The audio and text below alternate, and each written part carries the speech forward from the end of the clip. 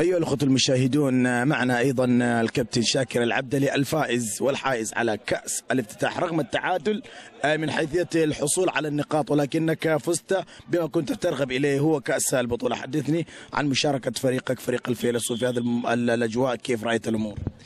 أول شيء بسم الله الرحمن الرحيم. أحب أرحب فيكم كشبكة أنتم وقناة خالد بازيدان والله يحييكم شرفتونا في بطولة العلاف فالمباراة كانت ما شاء الله تبارك الله أنت شفت بعيونك. يعني المباراة كانت جدا جميلة وكان الأداء طبعا يرتفع تدريجيا من الشوط الأول للشوط الثاني. وصلت للقمة يمكن في النهاية. أنت شفت كيف كنا متقدمين 2-0 والفريق ما شاء الله تبارك الله اللي قدامنا كان محافظ على وقفته عارف كيف إيش قاعد يسوي.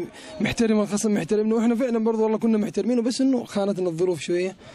والحمد لله على كل حال. يعني قدرنا تقدموا علينا فرقوا كمان بهدف وصلوا ثلاثة وقدرنا نتعادل وبلنتيات مع إنه يمكن كنا أفضل يمكن نوعا ما. أنا أتوقع إنه كنا أفضل مو مدحم فريقي بس إخواني وزملائي اصدقائي هنا بيقولوا لي كنتوا ما شاء الله أحسن بس إنه الأهداف كانت غايبة عننا نوعا ما. طيب كنظرة فنية لفريقك كن- كنظرة شاملة هل تعتقد أنك تملك فريق قادر على جلب البطولة؟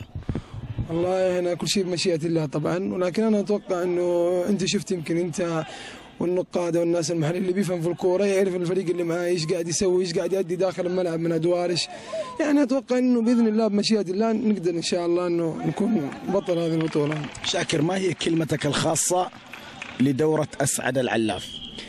والله بصراحة شهادتي أنا مجروحة في الأستاذ أسد العلاف لأنه إنسان الصراحة يعني أحيا الحارة بمفهوم عام كذا و كان دائما يعني من الناس اللي وده إنه يكون عنده عنده طموح دائما إنه يكون إيش؟ يجمع الناس ويألف ما بين الناس ويحاول يكون دائما متقارب من أبناء حارته ومن أبناء حيه. وفعلا حصل على الشيء هذا ما شاء الله. وأنا اهنيه الصراحة على الاشياء هذه اللي قاعد يسويها في الحارة وفي الحي. إنه بيجمع البطولات هذه تجمع الناس ببعض تقرب الناس ببعضها تخلي الناس أي نعم إنها منافسة في البداية وفي النهاية منافسة لكن بدايتها التجمع. فهذا شيء يعني جدا يشكر عليه الأستاذ سعد العلاف وشكر يعني وبإذن الله إنه تتكلل بالنجاح في نهاية ختام هذه البطولة بإذن الله. شكرا لك. العفو شكرا شكرا لك.